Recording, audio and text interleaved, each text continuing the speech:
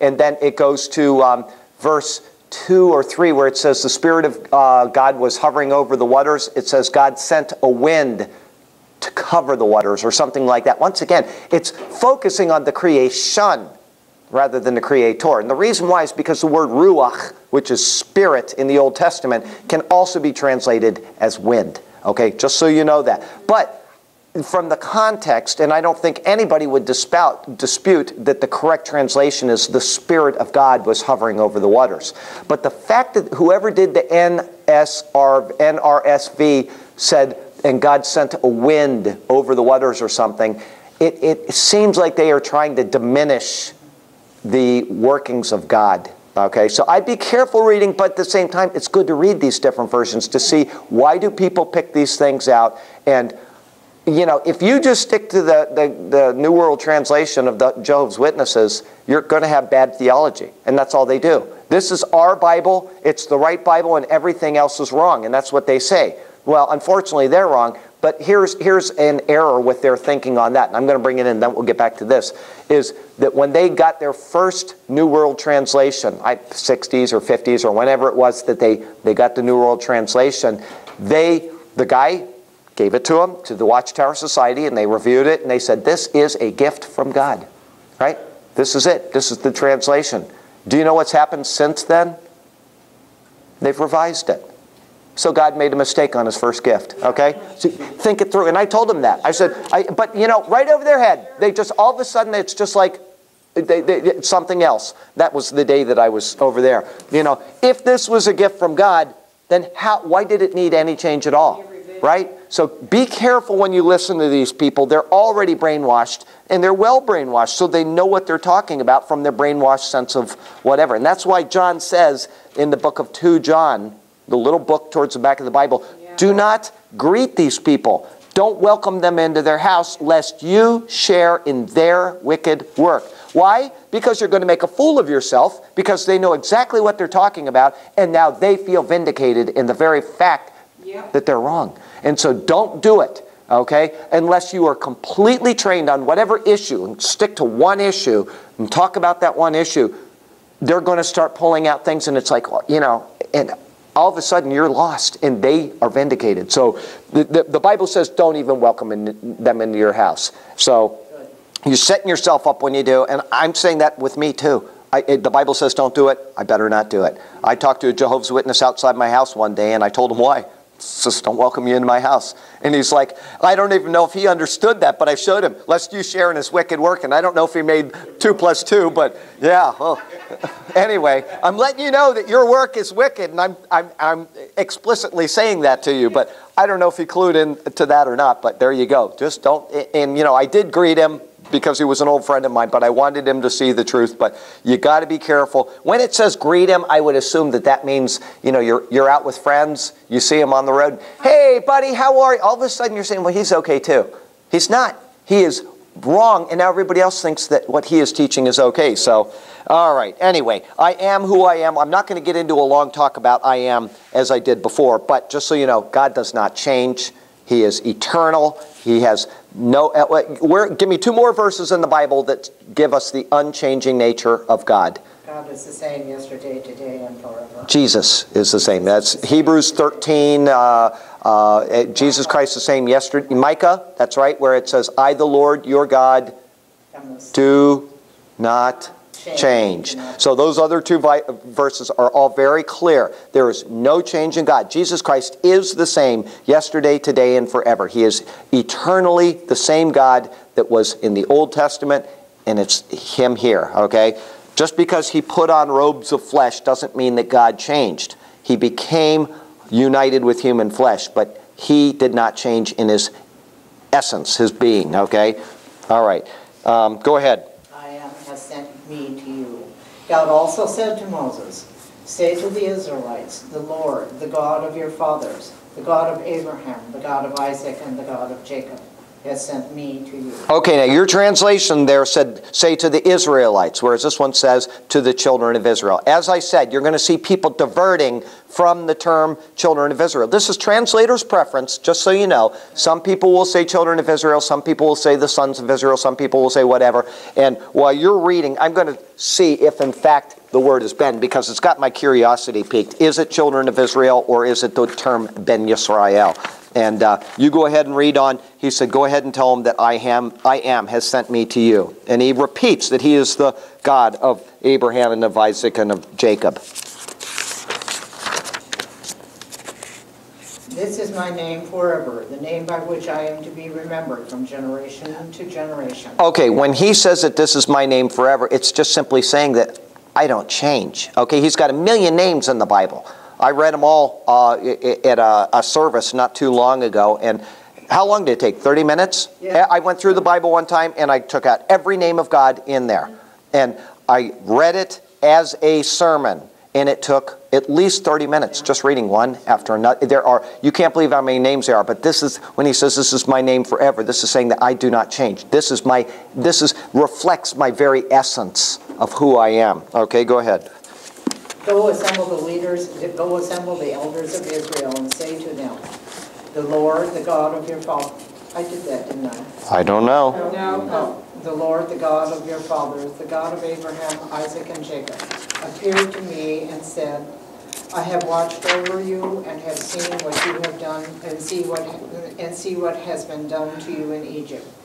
And I have promised to bring you out of your misery in Egypt into the land of Canaanites, Hittites, Amorites, Perizzites, Hivites, and Jebusites. Okay, how many are mentioned there? Read that again. There's um, uh, Hittites, you got Canaanites, Hittites, Amorites, Perizzites, Hivites, Jebusites. Seven this time. There were six last time. Canaanites, Hittites, Amorites, Perizzites, Hivites, and Jebusites. Right. So it's going to change from time to time, and you're going to see that. Each time it changes, believe me, it has meaning. I, I don't personally know what it is, but there is a reason why it changes. Now, remember when you just, what did you just say when you started reading that, that first verse? You said, haven't I, you, haven't I, Didn't, didn't, didn't I read didn't I read this before? When you say that to yourself, when you are reading the Bible and you say, Didn't I just read this? That is a very good indication that there's probably a chiasm right here in front of you. And if you start searching, you will be able to make a chiasm. Now, I don't know that. I could go ahead and look this over. But the fact that she said that tells you you are reading something very similar to what you've read before. And that is what you want to do. As you're reading the Bible, if you want to find a chiasm, first you got to ask the Lord to open it to you because it's His Word. But secondly, you need to pay attention to keys when you're reading. And one of them is, I think I've read this before, when in fact you haven't read it before. It's a new verse, but it's making a chiasm. So my guess is there's probably a chiasm somewhere in Exodus 2, 3, 4, somewhere in that area. Anyway, please go ahead. The elders of Israel will listen to you. Then you and the elders are to go to the king of Egypt and say to him, The Lord, the God of the Hebrews, has met with us. Let us take a three-day journey into the desert to offer sacrifices to the Lord our God. But I know that the king of Egypt will not let you go unless a mighty hand compels him. Okay, now hold on right there because I'm starting to get a little far behind you and I, have probably skipped something that I want to talk about. But I want to get this word to make sure that it is or is not what I'm thinking it is. 1121, Ben, Ben Yisrael. So when you're seeing here again and again the children of Israel, it's actually the son, sons of Israel, okay? And that is translator's preference. Instead of saying the son of Israel, they're using the term children. It's, maybe it's more endearing, maybe it's because it shows that they're innocent and they're, they're being uh, trampled upon. Whatever reason, the people who translate will use different terms. You, in the NIV, don't even have the term son or children. It just simply says, say to the Israelites. They've completely left out the word son. Okay, but the, uh, the reason why I'm telling you this is because when you read different translations, you're going to get a different mood out of it because of what the translators have decided to do with it. And the more you read the Bible and the more versions you use, or if we're in one class and we have seven different versions, you are going to get a fuller idea of what is going on than if you sit in a class with just the King James Version and that's all you ever use. You are going to be stuck with whatever those people have determined is it, it, it, that's it. So I, that's why I prefer different translations in a class. We can talk about these things. Yes? Uh, just a thought that comes to me. I'm really literal. Okay. So, if that said the sons of Israel, right. I would be looking at sons. Right. not children. And that could be. Further. That's right. I would be saying. Oh, these must be the 12. Yeah, these can't be the son, That's right. see? Absolutely. So somebody else uses the term children. And that's why they've, they, makes they've thought that through, maybe for your perspective. And then they say just the Israelites, because that includes everybody. It's not just, you know, but that is why it is good to have these different translations and to, to be able to talk about them. Be- But I was sure that the term was Ben, Ben Yisrael. And once again, you know that Ben means son. Benjamin, son of my right hand. Ben, uh, whatever. Later in the Bible, the term changes from Ben to what? In the New Testament, somebody is something Timaeus or something Rabbus. Barabbas, Bartimaeus. The, Bar. it changes from Ben to Bar. Why? Different language? Different language. It's Aramaic instead of Hebrew.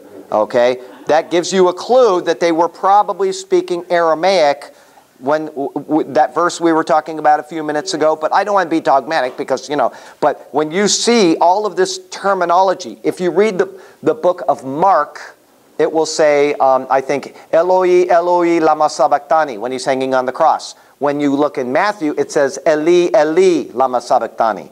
He said exactly the same thing. One of them is translating it in Hebrew because he is addressing the Hebrew people. The other one, Mark is addressing it in Aramaic because it was the lingua franca of the people at the time in Palestine, or I hate to use the word Palestine, in the land of Israel. But you see, there's no contradiction. He said exactly the same thing, but they are using it, they are translating it for their own benefit. Another thing, you will may hear, seeing as how we're bringing up languages, you may hear somebody, like maybe a Messianic Jew or somebody saying, well, the Bible was originally written in Hebrew and later it was uh, written in Greek, the New Testament. And you may hear somebody say that at some point in the future. That's untrue.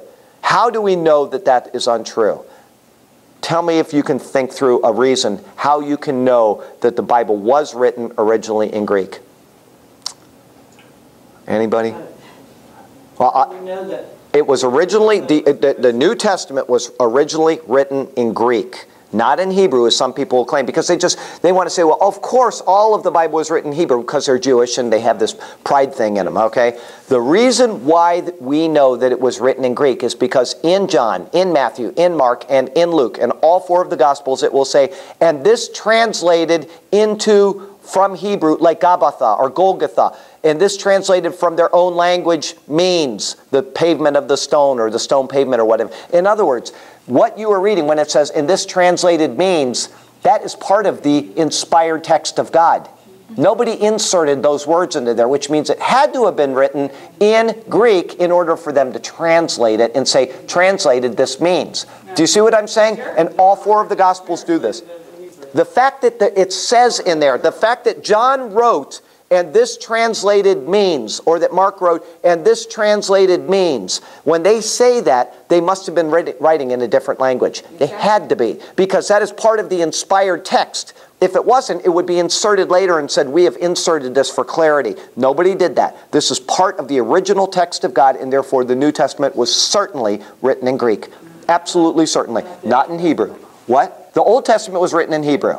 Now, there is a Greek translation of the Old Testament, but the, it was originally written in Hebrew and Aramaic. Okay, Daniel has quite a bit of Aramaic in it. The book of um, uh, uh, Jeremiah has one sentence that's in Aramaic. Right in the middle of nowhere, pops into one sentence. The uh, Genesis has one word in Aramaic. Okay, um, the book of Ezra, Nehemiah, they have um, Aramaic in it. There is Aramaic in the Old Testament, but it's predominantly in Hebrew. Okay, the Aramaic is because that's what was spoken at the time that that particular passage was written. All right, but anyway, yes, it's in Hebrew, and um, the New Testament was certainly written in Greek. And we've got another minute. We'll go ahead and uh, get one more thing out of the way so that you know. Uh, you may at some point come across a commentary that says Zola Levitt did this. Um, Luke um, it was Jewish. Okay? I'm, I'm, sure that's what I'm, yeah, Luke was Jewish, and Luke and Acts were also written by Jews. Okay? Now, that's not true. But once again, personal pride steps in. Well, of course, the whole Bible was written by Jews, and why would God pick the majority of the New Testament, which Luke and Acts together really makes up the most of the New Testament, size-wise. Why would he have a Gentile write that and everything else be written by Jews?